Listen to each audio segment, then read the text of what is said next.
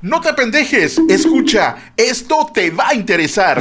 Medidas para reducir el riesgo de infección por coronavirus. Hola, soy Pedro Orcasitas, coach y locutor de puro cabrón y cabrona para ser chingones de verdad. Mira, Lava tus manos con agua y jabón o desinfectante para manos a base de alcohol. Punto número 2. Cubre tu nariz y tu boca al toser y estornudar con pañuelos desechables o con tu antebrazo. 3. Evita el contacto cercano con cualquier persona con gripe o con síntomas de resfrío. 4.